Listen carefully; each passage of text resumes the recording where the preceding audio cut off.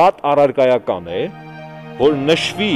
եւ ունենան այն մեխանիզմները, որոնցով հնարավոր է վերահսկել հրադադարը եւ տեսնել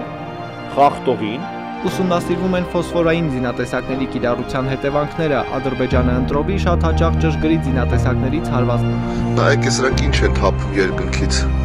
Ու սրանով սաղ անտառները բաժան են տալի։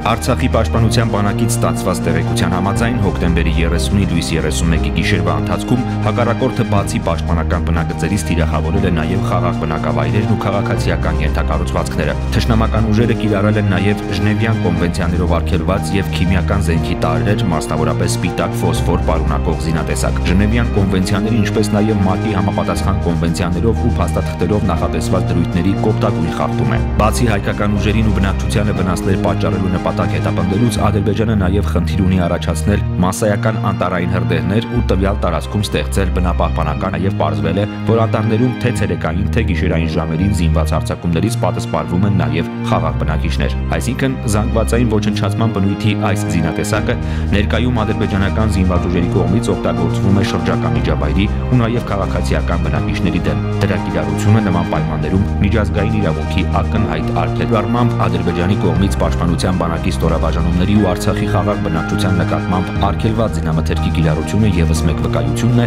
որ հարևան պետությունը իր բանակն ու վարձկան ահաբեկիչները մարտի դաշտում որևէ հաջողության հասնել չեն կարող։ Իզորու չեն մարտնչել հայ զինվորի հետ դեմ առ դեմ։ Ոստի Ադրբեջանը նենգաբար կիրառում է massայական ոչնչացման, արգելված կասետային հաթիռներ եւ արդեն ֆոսֆորային զինամթերք։ Զավեն Մաթեվոսյան, Զի